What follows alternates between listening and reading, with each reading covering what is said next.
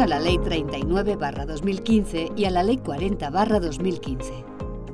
Hola, te damos la bienvenida a este vídeo explicativo de las dos leyes fundamentales que regulan la actividad y organización de la Administración.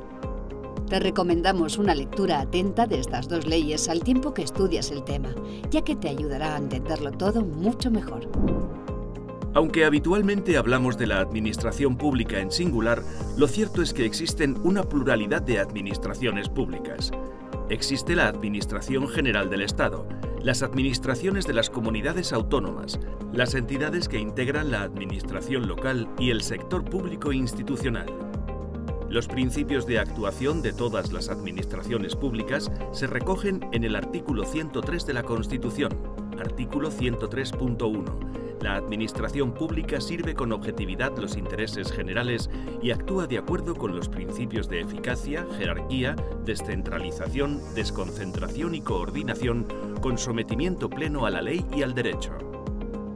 El artículo 149.1.18 de la Constitución señala que el Estado tiene competencia exclusiva sobre las bases del régimen jurídico de las administraciones públicas, el procedimiento administrativo común y el sistema de responsabilidad patrimonial, entre otras materias.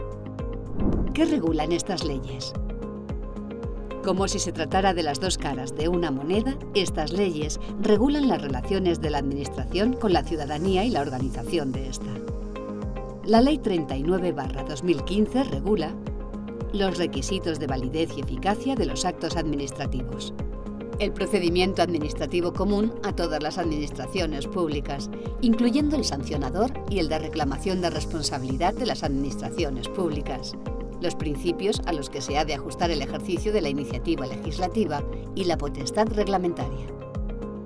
La Ley 40-2015 regula las bases del régimen jurídico de las administraciones públicas, los principios del sistema de responsabilidad de las administraciones públicas y de la potestad sancionadora, la organización y funcionamiento de la Administración General del Estado y de su sector público institucional. ¿A qué entidades se aplican estas leyes? El ámbito subjetivo de aplicación de las dos leyes comprende el sector público y más concretamente a. La Administración General del Estado b. Las administraciones de las comunidades autónomas c. Las entidades que integran la administración local d.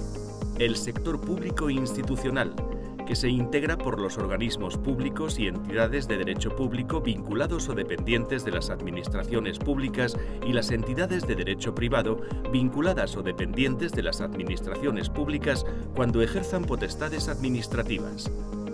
E.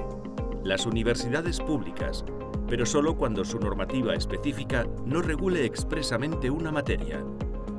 Hay que tener en cuenta que las corporaciones de derecho público no son sector público y solo se rigen por la Ley 39-2015 supletoriamente en aquellos casos en que su normativa específica no regule una materia. ¿Por qué se elaboran estas leyes y cuáles son sus objetivos? El Programa Nacional de Reformas de España para 2014 recoge expresamente la aprobación de nuevas leyes administrativas como una de las medidas para racionalizar la actuación de las instituciones públicas, mejorar la eficiencia en el uso de los recursos públicos y aumentar su productividad.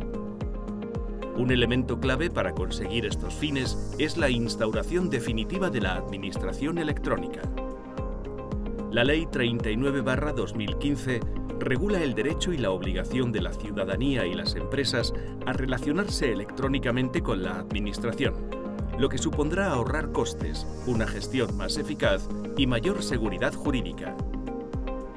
La Ley 40-2015 recoge las adaptaciones necesarias del funcionamiento electrónico del sector público y contempla como nuevo principio de actuación la interoperabilidad de los medios y sistemas electrónicos.